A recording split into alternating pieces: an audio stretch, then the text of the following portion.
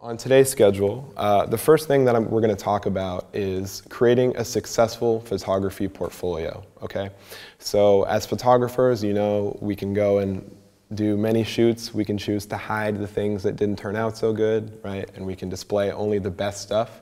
So we're going to talk about um, the things that I've learned over the years, uh, which make a good photography portfolio. Okay.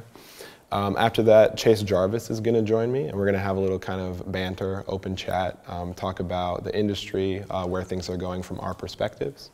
Um, after that, I have a keynote about how I interpret light in images. So I think um, the most useful skill that a photographer can learn is learn how to dissect images and dissect the lighting from them so they can kind of pick and choose the things they like about that image and reapply it to their own images later. So your style can kind of be made up of everything you like about the things that you experience and look at in film or in other photographers' work. You can take that and apply it uh, to your own work to get something you, uh, new, original, and unique, okay? Um, after that keynote, since we're gonna know how to define things, then I can do an actual demonstration here uh, in the CreativeLive studio using what we learned, okay? Um, so the first thing what makes a good portfolio, okay? Before we go into portfolio, let's define what I'm talking about first.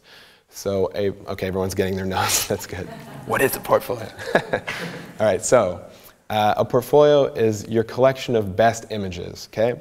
Whether you choose to display these in a printed book or whether you display them on a website, I'm still talking about a portfolio, okay? It's any means necessary of showing people what exactly it is that you do.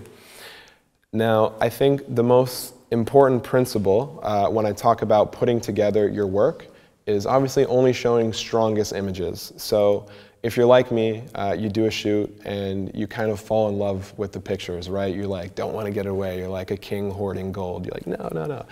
And then over time, you start to realize that people and yourself are gravitating toward certain images from that shoot, right? So for me, what takes up the majority of my time and like what keeps me awake at night wondering is the selection process, okay? So in my portfolio, I'm only choosing the strongest images to show. So I'm Xing out all the other stuff, and I can still choose if it's on a website to show it in a different gallery, but in my portfolio, I wanna maybe show like three or four images from a shoot max. In my entire main base portfolio, um, I'm taking only about 40 to 60 images. That's it. The rest can be locked away in other galleries as reference. Uh, if someone sees the quick version of your portfolio and wants to see things afterward, they can always access those in different uh, parts of the website. But just the main highlight section, I recommend 40 to 60 images of just your best work. Um, so let's look at this slide of a shoot that I did for Rebel Ink magazine, uh, photographing a guy named Rico the Zombie, Zombie Boy. Uh, you might recognize him from uh, Lady Gaga music videos or that commercial on YouTube where they, they put makeup on him to make it look like he's not tattooed. Um, he's a performance artist, really interesting guy um, that I had the opportunity to photograph uh, for the cover of Rebel Ink, as I was saying. So during the day, we got a lot of different stuff. Like every single picture you take of this guy looks good. Um, but it was what I had to do is kind of narrow it down to three images, right? So although we have a lot for the shoot, and I still did a blog post about that body of work, um, I only choose to display like the top three. So in my portfolio, this is the actual order that I'm using to display them is we start with a portrait uh, just to show you know his face. His the most interesting feature I think is a skull face tattoo. Then we go to a wider shot which shows oh wow he has his whole body covered in tattoos. And then the third thing I show is something a little bit more creative. So this is drawing off inspiration from Salvador Dali and Philip Halsman photo, where they make the nude human bodies make a human skull. That was the inspiration for the shoot. So I end on that in that small series uh, within my portfolio. Um, the thing to think about is I know a lot of photographers are in a rut and they like hate all their old work. Like I'm the same way. Like if a certain amount of months pass, I'm like, ugh, crap. Like get rid of it. Interesting thing to think about is if I'm saying only you know 40 to 60 images in a book. Let's say you're making your first portfolio and you want to include 40 pictures, right? And I'm choosing four images from one shoot what it really means is that you only need to set up 10 shoots to have a complete new body of work, right? Because really, as photographers, we don't have to show all the stuff that goes on behind the scenes. Anything that you've shot leading up to now, it's just may have been practice, right? Or might have been learning. So if you're not happy with anything you've done and you want to go out by yourself, you don't have any clients, you just set up 10 shoots. To me, as long as you're getting about three to four images, it's enough to build an entire new portfolio of work. So as I shoot, I'm actively getting rid of old stuff and putting in new stuff and keeping it fresh, only keeping the strongest stuff, okay? The other thing that I think is one of the main important things of a photography portfolio is to specialize. And this is where a lot of photographers go wrong, in my opinion, is there's so many different genres and so many different industries in photography that it makes sense to specialize and have a sort of cohesion with your work. So let me give you an example. Um, it's very rare uh, that you'll see a very successful portrait photographer also doing things like still life and also doing landscapes and like mixing it all together. Um, instead, they choose to specialize, especially in the beginning, so that they sort of have a brand and people know when they hire them what they're going to get. So if you have a portfolio that's like mix and match, this, this, this, it's like, when I hire this guy, am I going to get this or am I going to get this? I don't really understand. If you had an eye problem, you wouldn't go to an ear doctor to fix it, right? So photographers also have to be specialists in this regard. I've said this before, but there are many different professions that drive automobiles and drive cars, but they're all separate professions. So what I suggest to people starting out when they're building their first portfolio uh, is to pick a subject matter that interests you or pick a style of shooting that interests you okay? And then you can pursue that exclusively force, just to build kind of a look and a direction of where you're going. Doesn't mean that you have to stick doing that forever, but it'll certainly uh, help people understand what it is uh, that you do. The other important thing that I always talk about is happiness. So if you're going to really put years of your life into this, you're going to have to choose a subject matter that means something to you, a subject matter that like keeps you awake at night because you're so interested to shoot it. So for me, my own work, it's personal, right? It's, uh, I like to shoot portraits. Um, I like to work with people. I think it's uh, one of the most challenging things for me to do. I'm actually not a very good landscape photographer. Like I go to some of the most amazing countries and see like this, and I'm like, oh, that looks great, and like drive right by, because I know I can never properly capture. Instead, I prefer uh, to focus on people and portrait. So although the subject matter in my portfolio is very vast, so maybe indigenous tribes in southern Ethiopia, or even celebrity work, what I've been trying to draw toward is having a sort of unison of all this kind of like portrait style, right? So the way that I define my style is kind of a, a cinematic portrait on location. So these two examples here, although they're very different uh, in terms of lighting, uh, they're very different in terms of subject matter, they still kind of fit together, right? So when someone flips through my website or flips through my book, at least everything appears to come from the same hand, okay? So the other thing uh, that I will talk about is flow. So the portfolio, it should fit together like a good album, like a good collection of songs. I like to make this comparison because it's something that everyone understands, right? So when you listen to a good record and you listen to a good music album, it's very unlikely that they'll put the heaviest song right after like the slowest song, right? So when you establish the order of your portfolio, it can say a lot about you okay? And I'll explain what exactly that means. So for me, I know personally, I came from shooting a sort of different style than I'm shooting now. Um, and it was very difficult for me to kind of like merge the gap, and it still is today. Uh, every shoot that I uh, work on, um, I'm slowly kind of moving away from where I started and going in a more refined direction. But that doesn't mean that I can't display things and I have to get rid of everything all I have to think about is flow and how I'm going to organize the images for how they appear when people experiences the portfolio, okay? So this could be either clicking through the gallery on the website or turning the pages in a book. If you have a certain style or a certain subject matter, uh, when you turn the page and all of a sudden you're like, whoa, how did this get here? It doesn't feel like it's from the same hand. To me, that distracts from the portfolio and it takes away from the work because it doesn't look like it all came from the same photographer. So if you follow my last point and want to become a specialist, Flow can help that. So I can talk about it forever, but let me give you an example. Uh, if you look at my work here, uh, these are two different photo shoots that I've done. Uh, one is for Zombie Boy, like we saw before, and one is for from the TV show It's Always Sunny in Philadelphia. Okay.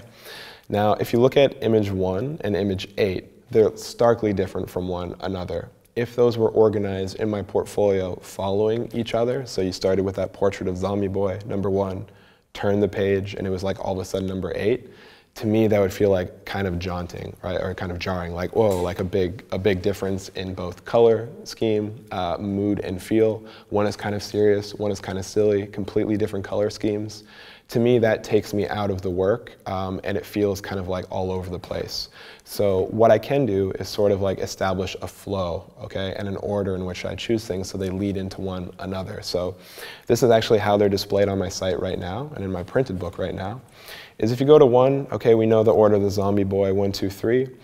And instead of going right to number eight, that light picture, I kind of started with like this darker individual portrait of Danny DeVito, which kind of matches the mood and the color tones of the image before it, right?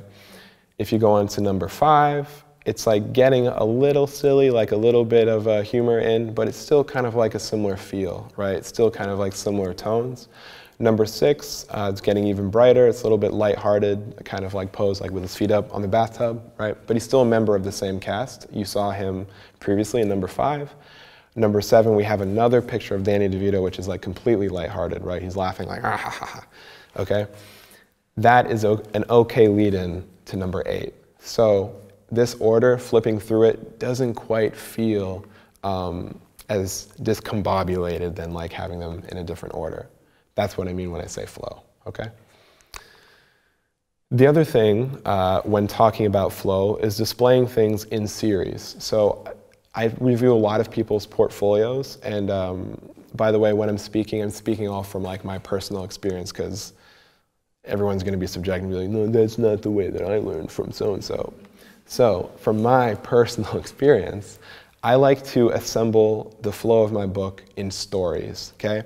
Because oftentimes, let's say I'm working for an ad client or working for an editorial magazine, is there's usually gonna be more than one shot that they require from the day, right? So I actually like to group things together. So in this example, we have like the three images, my favorites from a shoot I did for National Geographic Channel's film Killing Lincoln. Um, and then I have the three zombie boy images that you have below. So I'm displaying them in series. To mix them up and put them in different parts of the book and be too dependent on color tone is going to be backward because we want to also make sure that we're seeing things in series. So uh, when you look at any magazine, they'll have like the cover photo, right? It's a cover story. So you have like the base cover, you turn the magazine, you have the table of contents picture. Later on, flipping through the magazine, you find like the double page spread, right? And then maybe like some other vertical photos as you go. That's a photo story. That's how I work, is I get hired to do different image series. So again, in my portfolio, I'm gonna wanna replicate that and show maybe like three to four of each thing so it doesn't get too boring of like the same subject matter and we move on from there, okay? Um, the other thing that I want to talk about, the other main pillar of a successful portfolio, is that it's a conversation piece, okay? So basically, when I sit down and show someone my work, the worst thing that could ever happen is like complete silence. It's so awkward, right? When you're sitting there and like looking like, what is this guy thinking? Oh my God, he's like, mm like that's the worst. So I like to also structure my portfolio to be a conversation piece.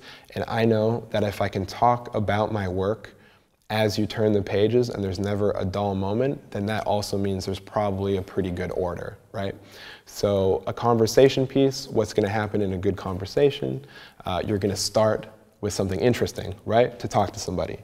Approaching a girl at the bar, you don't wanna say like, how's the weather out? That's, that's, that's boring, right? Approaching someone, right? You wanna start good, end good, but also keep it consistent throughout, okay? So um, for my portfolio speaking, uh, what I like to do is I like to start with something relevant, something new that I've shot that's not too old, uh, that maybe just passed. So in my work, for example, I have the Oscar nominee portraits. That's something that just happened um, that some of my entertainment clients will appreciate.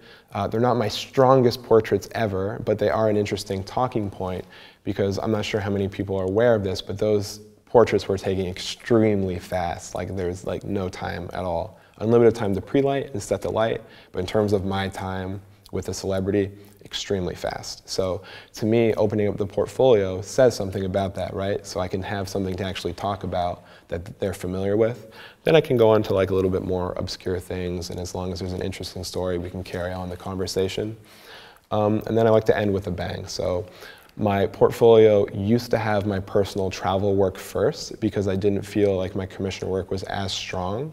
But nowadays I've been making um, a very hard push for shooting my commercial work the same as the personal stuff that I'm doing. And now that gap is being merged a little bit.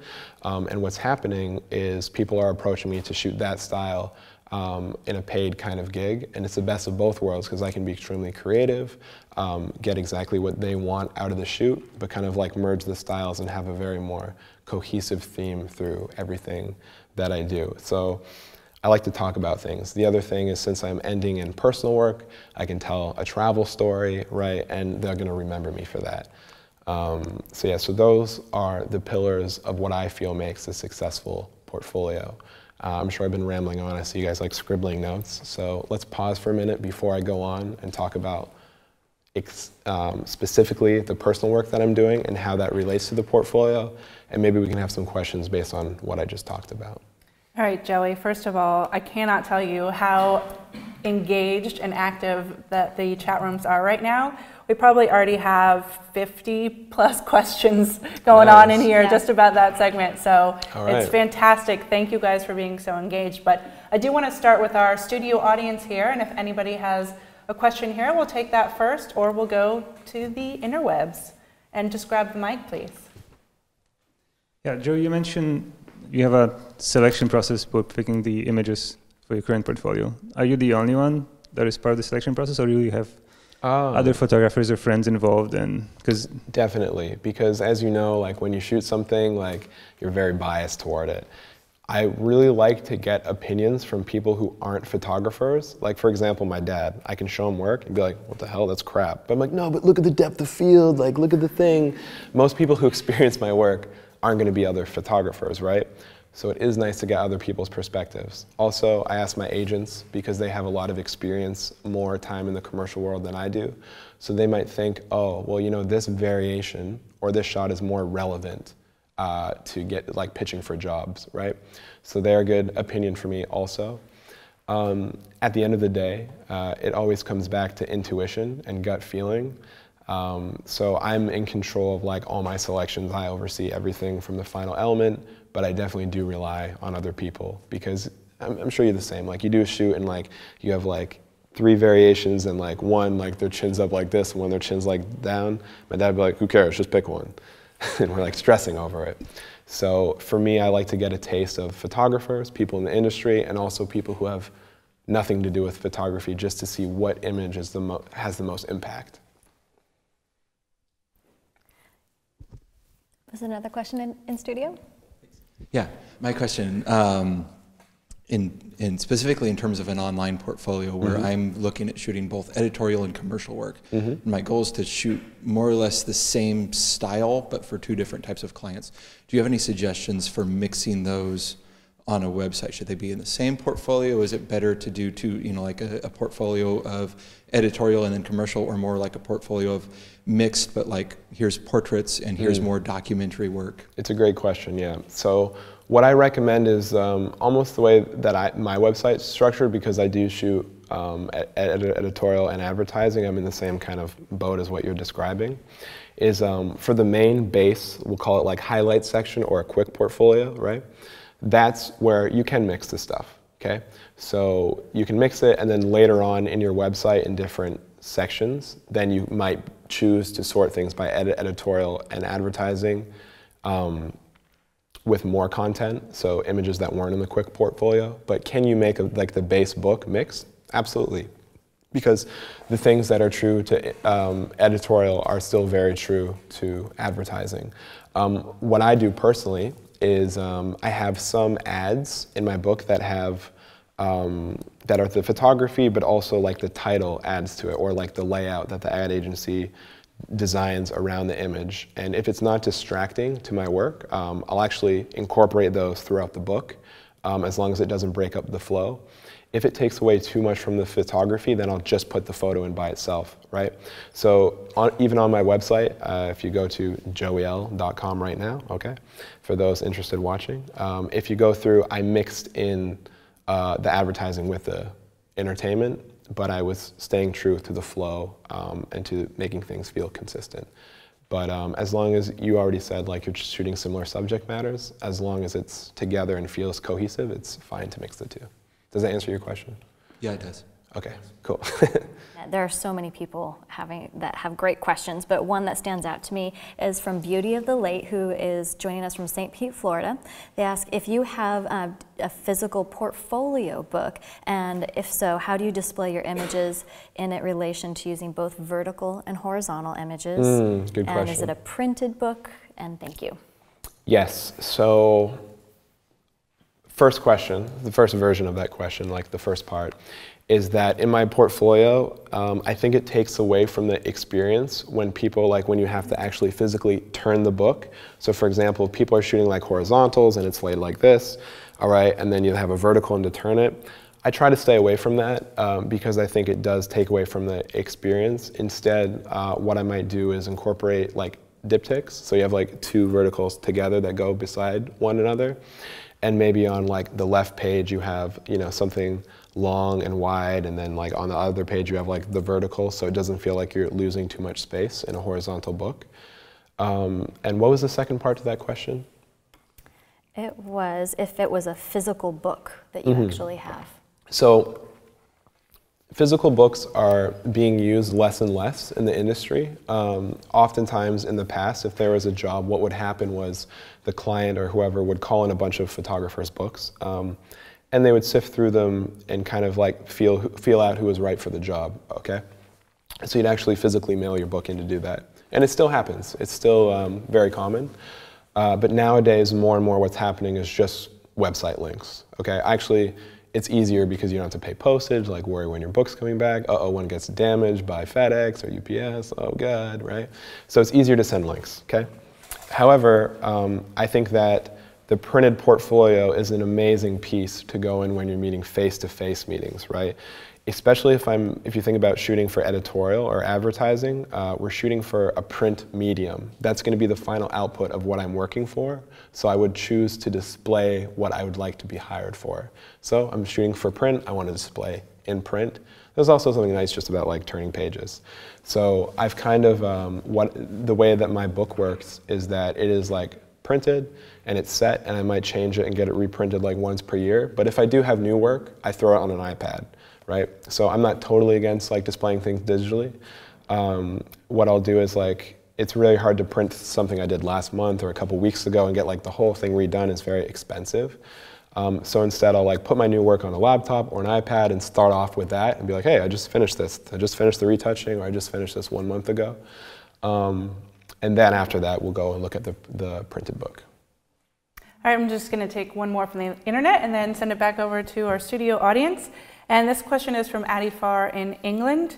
What makes you pick a certain image to go into your portfolio? Is it the way you make someone some is it is it the way it makes you feel, something that best represents your style, or something more of a technical aspect? And mm. it was also sort of, I wanted to ask that combined with um, do you have different portfolios for different clients? Okay, so the first the first question. Um, uh, which I'm now forgetting. What what was it? What makes you pick a certain image to go into okay, your yeah, portfolio? Yeah. Is okay. it style, yeah. technical, okay, something you feel? Yeah, brain fried. Okay, so uh, the first part of that question is, um, am I basing my selection based on technique and technical elements or the performance of the subject? Mm-hmm, mm-hmm. For me, it's always more important the performance and the and how that makes you feel. Um, in the past, uh, when I was starting out, it was definitely more technical, and I'd worry so much about, oh, is the light perfect in this shot versus this shot? But then, like someone like my father would look at it and be like, oh, it's stupid, right? He doesn't care if like the rim light's here. He doesn't care if like it's like perfect. So to me, um, I would rather get an engaging look yep. or an engaging expression, and use something where I might have missed the focus a little bit. I'd rather have that than something that was just technically perfect. Um, however, if I have two selections that are kind of similar, of course, I'll choose the one which is like technically superior. Um, and the second, the Second second, one was, do you have different portfolios Yes. when you go talk to different clients? So, um, what's very interesting is I shoot a lot of entertainment and advertising, but then I also have um, clients who really like my personal work, Right. right. So, like the travel stuff. So, I have two different versions of the same image selections. So, the same group of images, I have two different versions. Um, one is how it reflects online, which is the entertainment stuff first. And then the other one is the exact same image, except I put the personal stuff Got first it. right? So, uh, depending on who the client is or who the who I'm meeting, um, I will uh, I will choose to bring that specific order. Um, but the, the selections are exactly the same. So the reason why on my website I decided to put the entertainment stuff first um, is because the majority of people want to see that stuff first from me. Okay, great.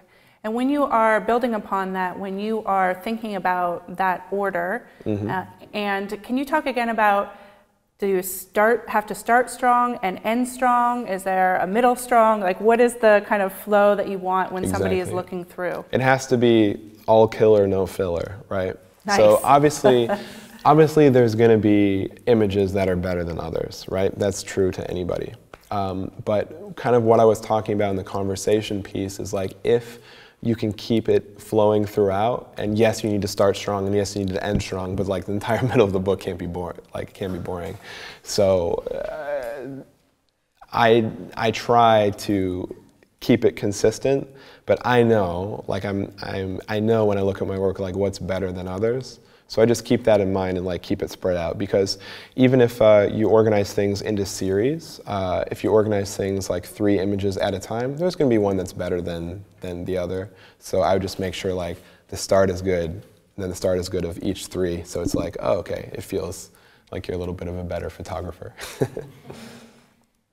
Awesome. And Shane, thank you very much for waiting, but you have a question. Yeah, actually, you kind of touched on it a little bit, but uh, I was kind of interested to hear how much emphasis you actually do put on the technicals. So if something is slightly out of focus, okay, you, you just mentioned something about that, but um, as far as even like photo competitions, I know they get really upset if there's like a clipped highlight somewhere or uh, a crushed shadow or something like that.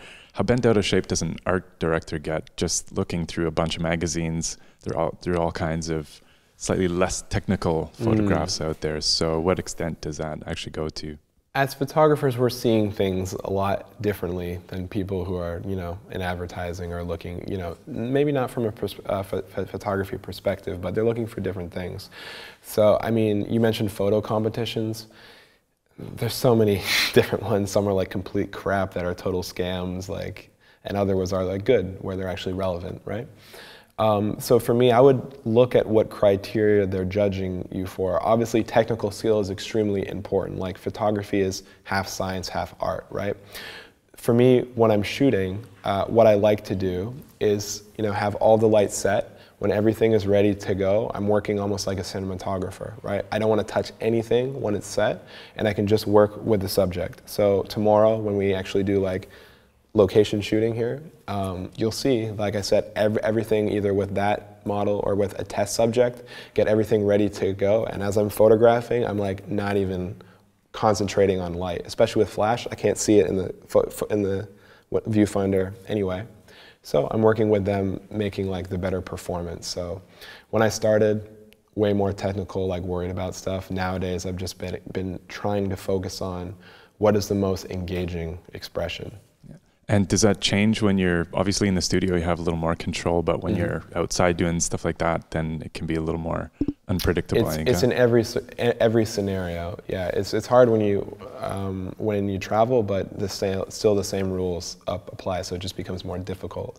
Especially, you know, I photograph a lot of people, um, maybe that come from reality shows or someone who's not maybe necessarily a trained model. So you're gonna have to work with them more to get the engaging expression. All right, Joey. Well, we have so many fabulous questions again, but I think we can keep going. We still have Let's- another uh, dedicated Q and A period at the end of the segment, so I know we have some more photographers' work to see. Great. So the other area of the portfolio um, that I like to talk about is personal work. Okay, you'll see me use this term a lot. I'm a huge excuse me, I'm a huge advocate for what we call personal work. So again, like I defined portfolio, let me define what that means. Is I say personal work uh, for any photo shoot that I'm doing that I'm not being paid for, right? I'm just doing it for the love or for the experience or to build my portfolio. That's what I mean when I say personal work, okay? So for me, um, as you guys know, that's the stuff that I like to go out, shoot, and traveling, okay? This is something that uh, I get very excited about. It's something I do on my own time. It's sort of my hobby. Um, but of course, it does lead to commissioned work also. So people say, well, how do you finance these trips? How do you go on these things uh, when you're missing so much work back home? The thing is, is these personal shoots that I do help uh, my commission work, right? So it's kind of like um, it's a healthy balance. Anything that I go spend out money doing myself that's financed um, can lead to commissions down the road, okay?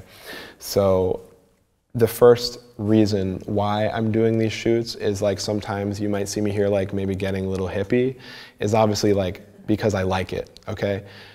I don't want to live my life doing something that doesn't make me happy. I think it goes like it needs a uh, it needs a special mention in the creative field because like creative people can get depressed and get into slumps really easily. So if you're going to dedicate, you know, years to doing something, it better make you happy. So the first thing about personal work is the obvious pleasure, right?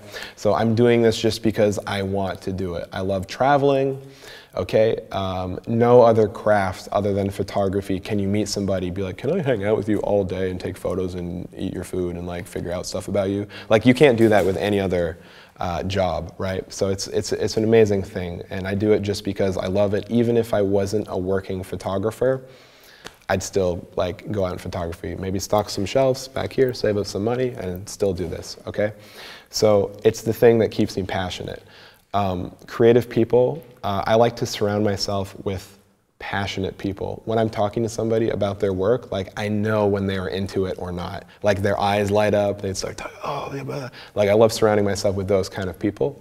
And those are the people that I choose to work with. So first of all, personal work, it's the obvious pleasure, okay? The other important thing about setting up tests or setting up your own shoot, uh, which you might put in your portfolio later, um, is it helps you grow as a photographer, right? So let me give you an example um, is if I'm photographing a, a large body of work, right? And I want to get hired off of it. Typically, the clients that hire me don't want to take too much of a risk and hire a photographer who couldn't pull off their vision, right? So they want to hire someone they know can execute this portrait in that style that way, so they choose me, okay? Or they want to know a photographer who's worked with a similar subject, okay? That's how I'm getting hired. But let's think about what happens over time, okay? You get hired off of old work to kind of do what you've already done. You get hired off that again to do what you've already done. Uh, you can see kind of like a slump coming here, can't you? right? You're doing, oh, I'm doing the same stuff I've been doing for years, right? That happens. So, what the whole idea for personal work is to like get out of that slump and start experimenting because it's not on a commissioned commercial job that I want to like start messing around and because um, you know I have a responsibility to deliver images. But what I can do is go off, set off a test, experiment, mess it up, doesn't matter, all right? And then later on, I can apply those things to actual jobs and what I've learned and grow as a photographer, okay? So, um, what's interesting is on the screen here is um, I was never like into shooting things a little lighter and like flaring the lens. This is something I just didn't know much about, combining ambient light uh, with studio light. I started doing it a lot on my travels, and I was like, oh, oh, oh, okay. So later on when I had like History Channel stuff, I was like very comfortable with that kind of craft. So if you look at these two images side by side, they're both mine. Uh, stylistically, they're both very similar, but one is a commissioned job and other is something like I just did for fun, right? But they still fit in my book and they still both have merit and they still help, help each other out. So after a while, like, oh, that's a neat effect. I can do that for a while. Then I'll go on and try something new and experiment with something different. Um, let me give you a little backstory of where I came from is just shooting a lot of musicians, right? So like five dudes standing there like, mm, right? That's where I come from. That's built my first portfolio. So you can imagine what happened over time is that those bands saw me, similar bands would hire me, similar bands would hire me, and then all of a sudden I have a whole portfolio that doesn't have like a single woman in it, right? A single female in it. So what happens is, is people who hire me um, looking at that work might go, hmm, this photographer isn't used to working with female subjects, okay? Stylistically, he's on point. Technically, these portraits look good, but to photograph a girl in our culture is a little different, right? There's certain like things you have to do. The hair has to be a certain way, the clothing, it's like you have to be tasteful, right? It's a lot, it's it's a lot different. So what I had to do is do personal work and test in order to prove uh, that I was capable of doing that kind of work. Okay, so uh, this is an interesting example uh, of a test shoot that I set up um, on my own dime. Right, just uh, approached a modeling agency and said I'd love to test. In exchange for a model of yours time, I can take really nice, high quality images. She has benefit because she can use it for her portfolio. Me, same thing. I can use it for my photographer's portfolio, and you can get um, uh, a mutual exchange of services, right? So this is a, a, test shoot that I set up just because I didn't have any women in my portfolio. Did this shoot, I did several others since then. It only took like three shoots to mix it into my portfolio. And all of a sudden, now I realize I'm not missing as many jobs that have women in it. People trust me to do this now because I had to prove myself. If I went to a meeting and just spoke about it, it means nothing. Instead, I have to like show it in my work, okay?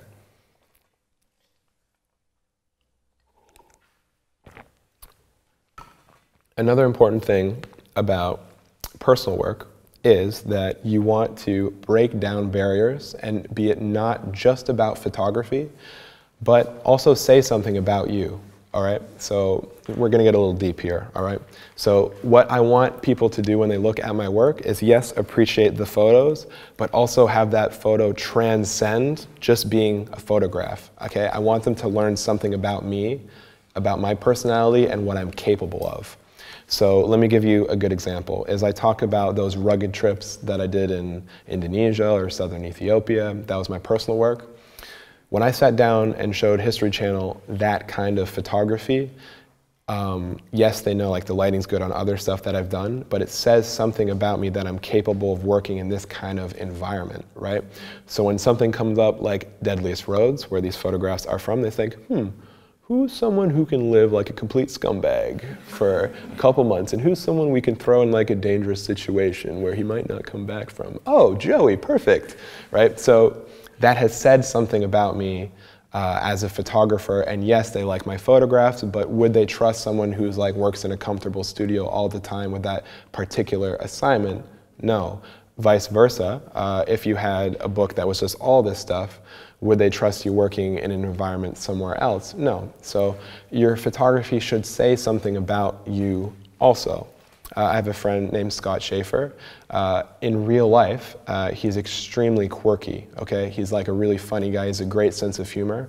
If you look through his portfolio, stylistically it's on point, it's very cohesive, but you can look at that and like, you know he has a really good sense of humor. So would they hire some guy uh, who just has like a really kind of uh, dry book that's like very serious and very atmospheric to pull off a comedy movie poster? Maybe not. Although technically they might be the same. Uh, they'll want to work with someone like Scott because they know in order to execute that, he had to have a good sense of humor, right? I just want to make a comment, Joey. Yes. Uh, that Chase Jarvis is coming out uh, in, in our next segment. And it's the same mm. thing with Chase. If you look at his work, you look at his portfolio. Who can I get that can shoot from a helicopter and extreme sports and while skiing and not exactly. just him, but his team? But you would imagine that he would definitely be showing that type of work to show what he's capable of doing. Yeah, because when you look at that stuff of like the skiers or like Chase's stuff of like the um, travelers and um, like extreme sports, like what exactly. you, you mentioned. Like I know a lot of people that couldn't do that. For example, like I couldn't because I can't snowboard or ski, and there's like shots for like going down the mountain doing that. It's like it's probably like not going to be the best fit for me. So yes, anyone can photograph, you know, something in that environment, maybe light it. There's a lot of photographers who could do something similar, but what that says about him is that he's capable of doing it. Exactly. So it's a working in two different ways. Right. Cool. I Hadn't thought about it that way. That's awesome. Well, that's part of what I'm here to do. All right. So, the last thing, uh, which is really important about your uh, including personal work into your portfolio, is that it keeps you remembered, right? So, I work with a lot of people in advertising. They deal with ads all day long, right? It doesn't mean that they're not into it, but if I have these personal travel stories and these things that have happened to me, again, they'll transcend just the photograph and they'll be able to remember who it was that took that work, right? It's like the guy with the stupid haircut that I met like a couple weeks ago, like that guy. Hopefully they will remember me, all right? because we have in our industry we have like a sea of photographers and you have to think about what separates them at the end of the day we can all grow we can get so technically good and have a good body of work but the thing which is going to differentiate one from another uh, is how you remember them so oftentimes uh, jobs come up extremely quick right um, they come up extremely fast and it might just be whoever the person like happens to remember being a good fit so this goes back again uh, to having a very cohesive portfolio because someone who's kind of like a jack of all trades that shoots like this, this, this, this, this, it's really hard to remember them for one specific thing. So if someone has a job come up where it's like environmental portrait and I want it to look like this and they've met me, I hope that they're going to remember that I am the one who can execute that and pull that off. Okay, so we're back to the Q&A screen. All right, fantastic. Beautiful, beautiful work, by the way, Joey. Thanks. Uh, let's start in our studio audience before we go to the internet. Let's see, go ahead. This question kind of goes back to uh, when you were talking about your digital portfolio and having a book. Something I like about having a book, um, it's something very tangible. It's more than just you know another picture on the internet. Exactly. Um, and but in that, what kind of pictures do you put on online, and what kind of pictures do you put in your book? Are they the same? And yeah. So in the base portfolio, uh, they're the exact same selection, right? So on my website, uh, you'll see a quick portfolio section that mimics the printed book. However, what you can't do in, in a book is have like the different series that I've done, right? I'm gonna go through my website after and I can show you uh, a visual of what I'm talking about. But um, to me, I think the book should mimic the website uh, very closely because if you're presenting your work on the web, right? What if they see that first, or what if they see the printed book first? I would like to see it match. Um, and also, just thinking off the top of my head, another thing is uh, similar branding, right? So does the book have the same font you use on the, does it, on the web? Does it have the same color tones? All these things I think should be similar. Two parts. When you're sending a, like a, a link to a portfolio, mm-hmm is it better to have it, you know, when they click on that link, it's opening up to a single image that they're then going to go through, or is it better to have them open up to an index of images? Yeah. Both, because Both. it depends on how the website is designed, right? Okay. So when I do pull up my website, um, which I'll go through in a minute, it's like there is a large splash page, which kind of paints a picture of what I do. Uh, other friends and examples that I'll show later, um, it opens in the highlights gallery. So for me, it's a little tacky like sending like a really long link unless you're sending a link that has something specific for that client, right? So if there's a specific section that only relates to them, I would send them that link. But I would also think about how your website is sorted from the splash page. So how are people going to interpret the material and view your work just from like typing in your URL? And then I'll use maybe as an example, a lot of wedding work over the last few years, and I want to, you know, focus on portrait work. But a lot of my, you know, I use a lot of lighting when I do weddings, and my favorite part of a wedding day is, you know, the portrait when. I have the mm-hmm. bride and the groom, and I, you know, some scenarios I have two or three lights set up. Got it. Heart attack material, but it, I mean, can I take that, you know, and try and restructure some of those? It's some of my favorite work, you know, mm-hmm. a, a bride, and, and try and restructure it into a portrait portfolio. You know, not so if someone sees it, they're not going to see wedding photographer, but they're going to see portraits. Oh yeah, definitely. I can see your eyes lighting up, like what I said. You're like, wow, I have lights, and then I do this. so it seems to me like what you said. You're not into the like, you do the reportage thing, but then you also are setting up portraits before of like the couple. Yeah. Yes, that can build a portrait portfolio. Uh, let me give you a good example from my work is I was photographing a lot of bands and musicians, but it didn't necessarily mean that I just wanted to do like group shots of guys and bands. So what I was doing was giving them something different and unique that they would be stoked about and photographing them all individually. So I had these great locations, I had all the lights ready to go, a lot of interesting faces too, right, in the music industry. So I was using them kind of like as um, commercial subjects. And my first portfolio was just all musicians, uh, but they were individual portraits where they could be anybody, right? So when you looked at my first portfolio, it didn't necessarily mean that I only shot musicians. It was just like a bunch of interesting faces in different locations. So same thing for you as if you are getting the chance to photograph like these couple shots together, it might be a good basis to build a portfolio because you have all the lights set up, you have the situation, they're even like done up nice for their, their wedding day. So it might be a good place to launch off of the internet actually has not stopped uh, asking you questions. So I'm going to throw out a couple more from the internet and then sure. we'll hand it back to our in studio audience. Uh, Pro Photographer asks Do you ever bring back old images back into your portfolio? And if so, why? Um, if I'm pitching for a specific job, okay, and say I'm sending them a PDF of my work, and something relates to them more uh, than what's displayed, I will have sort of like an archive that I can pull from. So let me give you an example. Is if uh, a lot of the times for the entertainment shoots that I do, um, I am hired to do something on seamless, so like on a white background that they can use for syndication. And then I'm also hired to do in that same day uh, stuff that's on location, so on the set with a background like in an environment. So if I'm pitching for one of those jobs, I keep a lot of the studio stuff off my website because I think like if you've seen it once, it's there, like I can do it. But if I'm pitching for something like that, I might choose to pull from my archives like all the studio white backgrounds and just show them that as a body of work because that's uh, I already know what the job needs, so I'll, I'll, pull from old work for that. Anything else, not really, um, because I feel like old work is in the past, and I'd rather pull from what I've learned from it to move forward.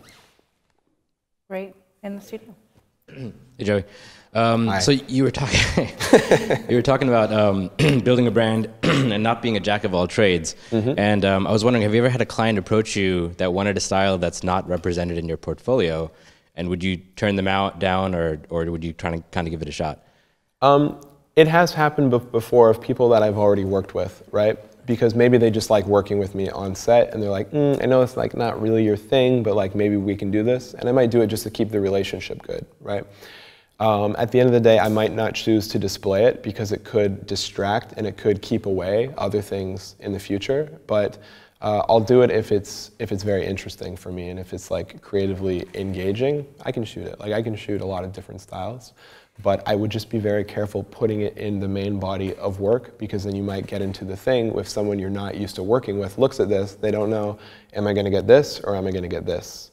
So I'm shooting things that I'm not always displaying, but I am displaying the things that I think I'm best at. Thank you. You're welcome. All right, great. Maybe uh, one more question before we move on. Uh-huh. And that is from Mark Zotrope in Chicago. You talked earlier about storytelling, creating a story, Joey. Mm-hmm. What do you mean by story? Pictures from one shoot, same setting, same mm. theme? Good question, because I should have defined that like I like to define my terms. So when I say a photo story or photo series, um, they're all pictures from the same theme or same shoot. Okay. So it doesn't mean they're of the same subject. Um, it doesn't mean they're like all against the same wall or whatever. It's just something uh, that comes from that shoot. So, for example, Zombie Boy, right? We looked at those photos. Yep. We're familiar with them now. I would say the story is is how like his skull face can be uh, examined in many different ways. That's kind of like the theme of that shoot. He obviously has like a tattooed face, okay, and then we have like the human bodies which make the human skull. We have the uh, memento mori, like uh, skull in the corner. So when you look through those three images, uh, they're not all exactly the same, uh, but they do kind of tell the story of what we were trying to accomplish there. Um, if you look at any magazine, uh, there's, uh, there's usually like a theme throughout all the photos, but they don't all look exactly the same. Perfect. Thank you for clarifying. So I know we have several photographers to dissect, so if we can keep going, we've got about half an hour left. Exactly. So we talked a lot about different portfolios, uh, but now I'd like to show you through mine first, and then also uh, some friends of mine that I think are doing things right. Okay. So um, for those who want to follow along online, it's joeyl.com. Okay. Um, just I was with your question, I think we were talking about like the main splash page. So this is uh, when someone types in in their browser joeyl.com. Uh, they're given like this main splash image, and I like to change this uh, based on new images that I release. Right. So this is something that I just wrote a blog post for. Uh, it's new work that's a few months old, and I just finished retouching it. So I'm going to make the splash page of my image that so that people know like there's something new, right? So whether they can find it on my blog uh, or whether they can go into the sections and find it, they at least know something's new.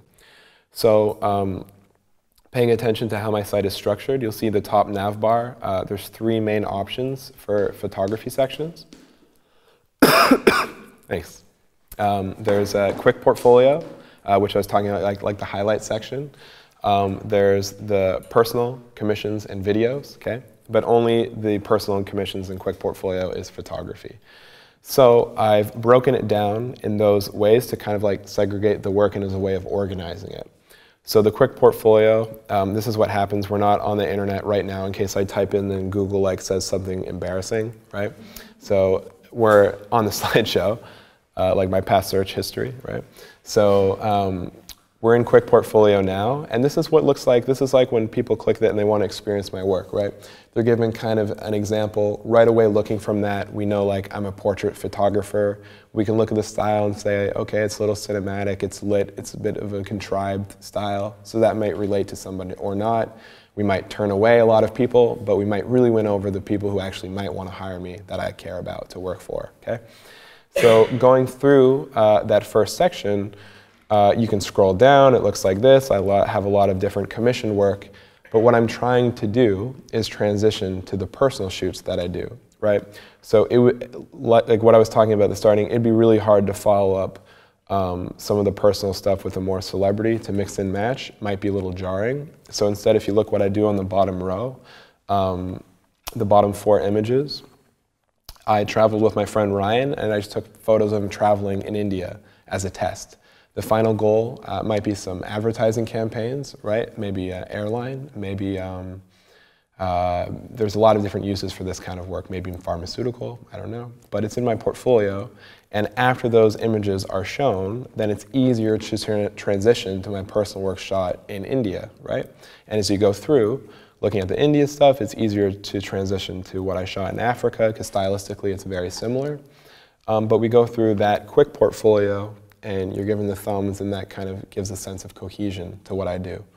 If you were to click on one of the images, uh, it opens up larger. Um, I'm a big fan of putting a small text caption. I know some photographers are for it, some are against it. For me, I like to give a little bit of context to the image. So some are really simple, like this one of Robert De Niro. It just says, portrait of Robert De Niro, actor. Half of that is to help uh, search engines find the images. Even this JPEG is named like Robert underscore D underscore Nero so that Google can index it and you can properly find it. And the other thing is I just think it's nice because if you meet subject matters you're not familiar with, right? You meet people who you don't know, um, then you can give like a little bit about their story. And to me that paints a much nicer picture behind the image. So I like to include a little bit of text as well. So that was talking about the quick portfolio, but I love to shoot things in series or stories. So following the nav bar on the top of my website, if you click personal, then you can see six personal uh, series that are ongoing, right? These are uh, areas of the world where I've been, some of them multiple times, and I keep adding to these sections. Um, but these give an, a greater depth, excuse me, they give a greater look at those images. So in the quick portfolio, I might have chosen three or four from each section. So if you're really interested and want to look longer, you can go to personal and see like there's maybe 60 images in some of these galleries. But by then I kind of realize, okay, you've seen the quick portfolio, they want to see more. So for me, there's not really a rule of thumb of how many images to display afterwards. I figure as long as you like keep the crap out, it's good, okay? Similar, I have in uh, commissions. It's the same kind of thing. Uh, the main sections are celebrity and entertainment, and there's another section called advertising. Um, but you also see two case studies there. Okay, the goal for that is I like to show the variety of what I shoot uh, on location and what I shoot when I'm given an assignment. So if you look at those advertising uh, sections, um, we can see a lot of my work with ads and layouts, but the case studies look like this. Um, they're that entire shoot, and I've only focused to choose. Uh, I've only chosen to focus on two in particular of recent things. The one is Deadliest Roads. The other is for Killing Lincoln.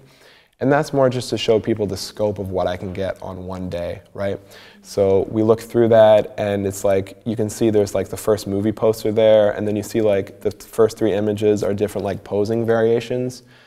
Um, clients know that my assignment was just to get one of those, but they can see at least I was like creative to like mess around, play with their idea a little bit. Because at the end of the day, what is someone hiring you for? Yes, they want you to pull off their vision, but they also want you to add something personal to it, right? So I hope someone looking through this section um, will go through it and be like, oh, Joey gets a lot of variation. He can think on his toes fast and uh, come up with something maybe even better than we initially thought. So if you were to click on some of these images, they're nice, but I don't think they're as strong as what I've chosen for the quick portfolio. Um, but just because they're there um, they're in a different section. You can click through it as a case study. You want to experience that way anyway. So I'm okay with that. The other thing uh, that I've gotten really active about on my website is my blog. Uh, sharing behind the scenes stories of things that I've done in the past um, is used to like I used to kind of try to keep it separate from my clients. Maybe even didn't mention it when I was in meetings. Um, but what I actually found recently is that people like it. They like if you approach them and do it respectfully before the shoot. People like seeing like a behind the scenes look at what happened. As long as you're being careful to get people's permission to post that, it's usually a good thing. Um, for me, it helps a lot. This is why you're here, right? Because you follow me as a photographer. So it's mostly photographers reading this. But you have to look at it from an advertising perspective. If someone hired me for a job, they look at me, they see a consistent brand, they see me writing about things from a photographer's perspective, they think, hmm, maybe this photographer also understands advertising and branding if he can brand himself. Okay? So the only thing I can actually write about in depth is photography because it's kind of like all I care about. So that's, that's what my blog is about, but at least it's consistent. Um, and for any of those uh, people who are tuning in who haven't been to my blog, it's joeyl.com slash blog. Uh, you'll find a lot of behind the scenes videos and a lot of behind the scenes lighting diagrams and things like that. But it's nice because I speak to one area of the industry, which is like photographers, but I'm also very active working and actually getting jobs. So the blog is for that side. Okay? okay so this is a good friend of mine. Uh, his name's uh, Cody Tarr. Uh, the reason why I like to show him as the first example, uh, who's not me, is because he's someone that took it upon himself to start testing. And if we, me and Jesse were just talking about this, um, a few years ago, Cody was like good, but not an amazing photographer, but he had potential. But like in the past year, he just started like unleashing, and for some reason, something clicked, and all of his work is like really, really good now. And he's someone that just came from testing, right? He had no clients. He thought, I'm going to have to prove myself somehow. So he started setting up tests, and now he's getting hired based on that body of work. Um, if you look through his portfolio, there might be things in there that certainly look commission. It's not. Some of it is, some of it isn't. But the truth of the matter is, someone can look through his book and the photo is good or it's not. So it really doesn't matter. If he's had clients before, this is how to start out and how to get them. So Cody's website, um, you can maybe see a little bit of my influence, right? He's got like the quick portfolio there. I'm not the first one to come up with, with it, but he's might have uh, organized things the way I have. But he's got a quick portfolio, um, which is the first selection of his work. It's the strongest images. And then he breaks it down into three different categories, light, dark, and adventure. Something different for me, but that's all the different subject matter that he shoots. So Speaking personally about Cody, uh, he loves sports. He loves outdoors. Uh, something he knows a lot about. I couldn't name you one sports player ever. Like I don't even. You can see it. I'm even unfamiliar with the term sports player. How was the match? I, like, I couldn't name you one, but he's chosen an area, uh, what he knows a lot about, which he's passionate about, to at least start out. So the area of the market that he's kind of trying to target is like sports, lifestyle, maybe like an ESPN type magazine, right? He'll start off that way. Doesn't mean that he can't shoot other things in the future. It doesn't mean like this can't just translate to portraiture or other adventurous things. But at least now when you think of sports, like you think of Cody, right? So for example, the first images that he has in this portfolio was actually for Gatorade. And uh, he had a friend of his who was a photographer who couldn't do an assignment. And he had to like back out and hire someone. So just being affiliated with sports at that point got him that job, okay? The other thing uh, that's interesting about Cody's work is you can see the light, the dark, and the adventure stuff even in this base like quick portfolio selection, right? It starts off with the darker stuff, goes to light, and then he has adventure. So if you look at this thumbnail gallery, um, it looks like the last image of the guy running. If that were to follow directly, like the Gatorade thing, it might feel a little bit broken up. So the order in which you choose to display things is nice because there's enough variation and you're not seeing the same thing over and over again. But he has been very uh, um, adamant about separating it, right? So let's flip through his website now. I don't know if it's crashed yet or not, but going through, okay, he starts off with his portfolio. A lot of these are tests. Uh, this is an Olympic athlete uh, that he was doing tests for with a modeling agency, like just doing other girls, and then they started representing her. They came to him, hey, do you want to photograph an Olympic athlete? He goes, hmm, fine. Because it gives value to his work. So this is a test he set up. He made her come out at four in the morning, sit on a dock to get this portrait, but it's helping her because it's helping her portfolio. She'll have many uses for this. And it's helping him because he has an Olympic athlete in his book now, right? So it doesn't matter if that was set up by himself. It doesn't matter if uh, someone paid him to do it. Fact of the matter is the picture is going to be the same either way. There it is. Excuse me, and just one uh, um, note from the internet. Quite a few of our internet audience right now, they are just starting out, they're beginners, and mm -hmm. they're not quite grasping what a test is. Can you um, oh, elaborate on that? test. Yeah. Right. When I say test, I'm describing, for those who just tuned in, describing something that you set up by yourself, right? So it's not a job you were paid to do. It's something that you actively went out and set up. You sourced the models, you found the location, you set up to test, to add into your portfolio to build value, right? So those who are starting out, you can't get jobs off nothing, right? You can't just be, hey, I'm going to be a photographer. Why isn't anyone hiring me, right? You got to test in order to build a first body of work and then get hired off those tests. That's what I'm talking about. Okay. So, uh, looking through Cody's work, he has more tests. Um, he's a big fan of not getting permits and just shooting things really early in the morning where people are too tired to care, right? So this is like a great location. I think it's in New York City. Yeah, um, and he just set it up, right? Set up his lighting, right? I think he found the runner off maybe like Model Mayhem or something, or maybe a modeling agency for sports. And he just set it up, but it looks good enough that it could have been a commission or it could have been part of a story on this runner in something like ESPN, right? You don't know that looking through it. Um, going back to his website, if we want to look at some of the lighter work now, uh, stylistically it's a lot different, but I think the subject matter is very similar, so it still fits in. Because if we have a story for a magazine, it's like sometimes you might have a portrait of the athlete, and then you might have like some action shots of them actually like running and doing things, right? So at least he's still incorporating that in his portfolio, and he's not being too specific. He's not being too specific to not include it, but still general enough that it still fits a sort of cohesive feel.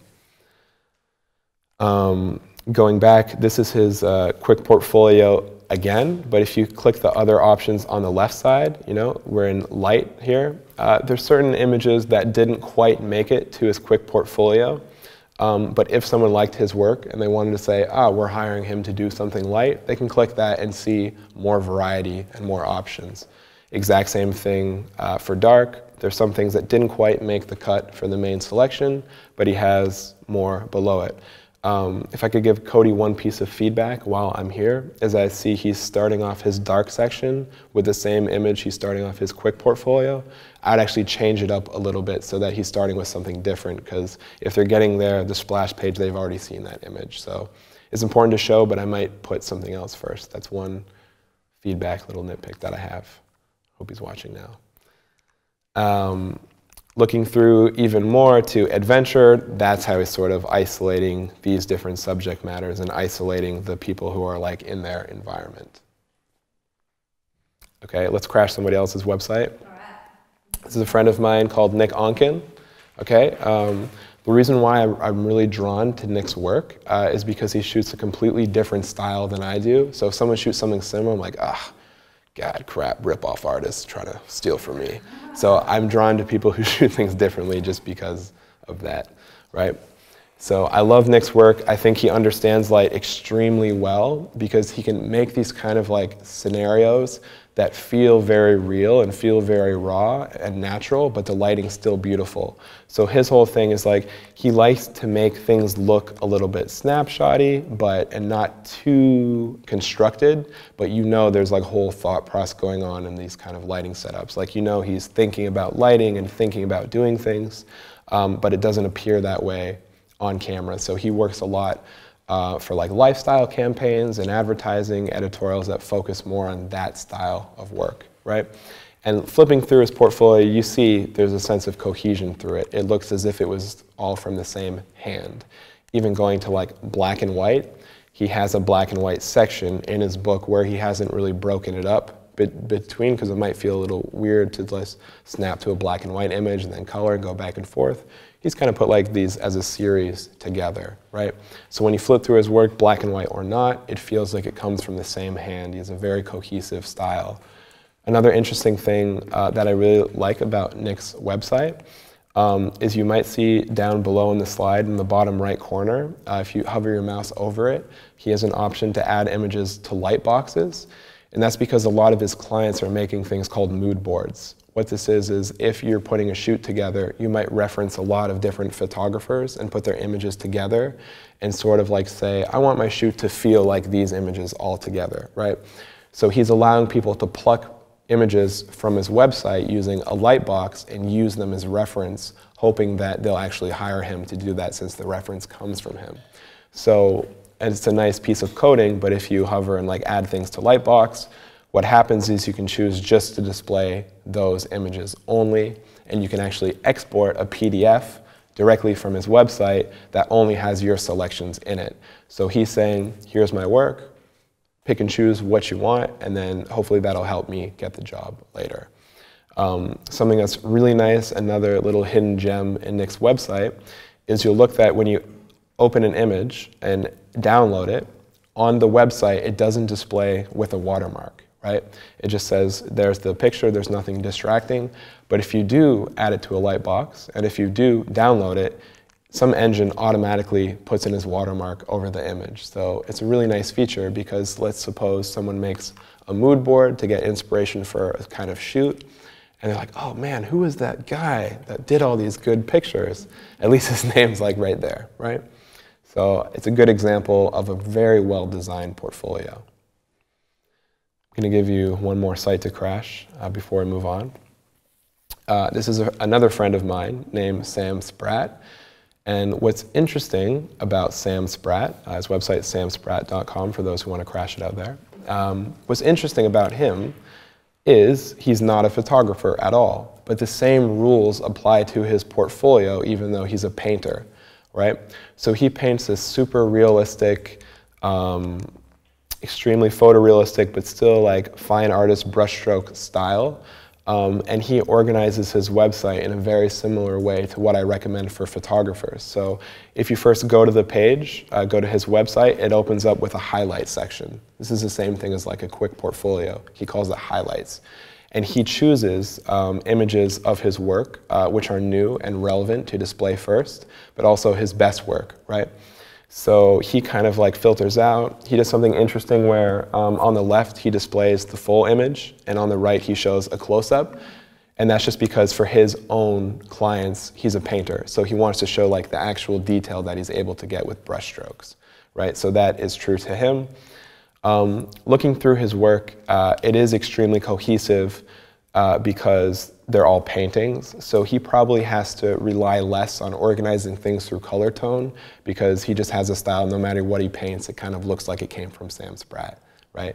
So we always joke, me and him, it's like, oh, Sam, you have it so easy. If you want an environment, you can just create it. You can just like brush it in there. You don't have to like hire all this stuff. You don't have to light it, blah, blah, blah. And he says, yeah, but Joey, you can just go there and like take a picture and your like job's done.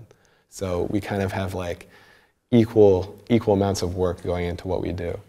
Uh, some of you might recognize this poster, right? It's for the uh, personal film project that I'm going to be working on. Sam was nice enough to design some of the early concept art for it. Um, he does a lot of celebrity portraiture, right? He doesn't have to get them to sit for a painting. He can pull a variety of different references to understand how their face looks. And he can do commissions, he can do personal work, and you're never going to really know the difference, okay? So um, looking through a site, everything looks cohesive and good, and we're still in the highlight section now. But if you came across something and you're like, oh, look at this Angry Birds paintings, this is good, he's going to choose his best three for the highlight section. But really, he did a whole series uh, for Angry Birds, right? So if you click on Gallery uh, at the top, you can find the different sections in which he's chosen to have separate case studies. So clicking on Gallery, going to Angry Birds, he chose the, his best three for the main selection, but then he went in depth and showed every single one um, in this gallery by itself. Because if I was interested to hire him for this kind of work, right, at least I could see the variety, but this might be a little bit too much to show in the base highlight section. And back to the Q&A. Great examples from your friends. I love the diversity that you showed uh, between, you know, just uh, painters and photographers. Very, very cool. There are tons and tons of questions from the internet, but first we're going to start in the studio audience here because I know you guys have questions as well. Do you ever include, is it a no-no to include like anything from the environment? So let's say I have a portrait set up and then I have a few shots that are, you know, good portrait shots and then I have like something from that environment that's not a portrait. Should mm -hmm. I mm-hmm. completely leave that out? No, uh, give me an example because uh, it's uh, it could be yes or it could be, be no. It's it's kind of a case by case. So I have a I set up a lighting scenario and they're playing shuffleboard. Mm-hmm. So I have some cool shots of that. But then there's one shot with the exact same lighting that I got of you know the the puck going the off and landing mm-hmm. into the salt and the salt's exploding. It's a really cool mm-hmm. picture, but so what you would have to do is sort of determine uh, what is the goal in what you're uh, going for, right? So if you're shooting for, like, let's say shuffleboard, the first thing that comes to mind is like a travel and leisure magazine. We're going on holiday, play some shuffleboard, right? For them, uh, something like that would be very relevant, right? Because in their magazine, I know how those look, right? Where you flip the page and they do have detail shots, especially, let's say, a hotel that had a shuffleboard court hired you they want these kind of detail shots and the people playing. So I think it's a great way uh, to show a story is uh, actually different close-ups. Um, for me, it has less relevance uh, because what I, I, don't really do detail shots that much, um, and I mainly just focus on portraiture and ads. Um, but to tell a story, uh, you might need close-up things, and you, yeah, I think it's a, I think it's good. Simple answer, yes. This is kind of a more of a background question, but um, how important is attribution in uh, online galleries? I mean, do you need to attribute like makeup artists or others who are involved, maybe conceptually? Oh, crediting or? things. Yes. Yeah. So what I like to do uh, is in my sections. The reason why I like to have text as well is because I can do things like that. So, for example, those National Geographic images, like I was one piece of a very large puzzle. There was a lot of people who collaborated on that. So I'll say, you know, what the production company was, or at least what the client was, like National Geographic Channel. I don't like to clutter up too much with credits from everything. Uh, where I might do that is in the blog post. So I actually wrote a blog post um, where I compared like the test subjects to the actual subjects of Killing Lincoln, where it was like the people like standing in for like test shots. And um, in that post, I gave a shout out to everyone involved. I even mentioned how a lot of the creative concepts weren't mine. Uh, they were the creative director, Andy Baker's. And um, in that context, I'm writing a lot. But like beside a picture, I don't feel it's necessary to give out like, every single credit as long as you do it at, at some point. Especially remember that I'm working uh, a lot of tests. Uh, sometimes makeup artists are coming out for nothing, right? And they're just doing it for the shot. So I'm making sure that I at least give them the high resolution images to work from. and a shout out like for coming to help out. So hopefully they'll get hired off it and hopefully they'll get work and it was worth their time getting the image, but also they need to have a roof over their head too, right? Hey Joey, question from Fashion TV in Singapore, uh, which is one of our regulars here at CreativeLive oh, that nice. joins in. Uh, when you mentioned to be remembered, in mm -hmm. your mm-hmm. opinion, what should be best what should we be best remembered for? You mentioned earlier feel over technical competence for portfolio images, for example, uh, working attitude or technical competence, or the feel of the overall image. So what is, I, I don't understand what the, what the question is. When you mentioned earlier uh, to be remembered mm-hmm. in your portfolio, in your opinion, what should we be best remembered for? Okay, yeah, I think um, choosing individual images, you obviously want to choose the most engaging one, but what I mean by being remembered is being remembered for uh, the style in which you shoot or the subject matter that you choose to shoot, so that if someone has a job uh, that reflects that and that becomes necessary, that's what you become remembered for. So I think the subjects become more remembered for how they look in the photo. That's not necessarily me, right?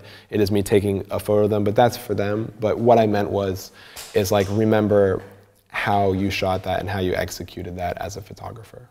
Fantastic. All right, Joey, well, it's time for our first 15 minute break. Do you want to talk a little bit about what we're going to do when we come back? Uh, well, if I'm not mistaken, uh, Chase is going to come out and we're going to have some uh, talk about the industry and where we're headed.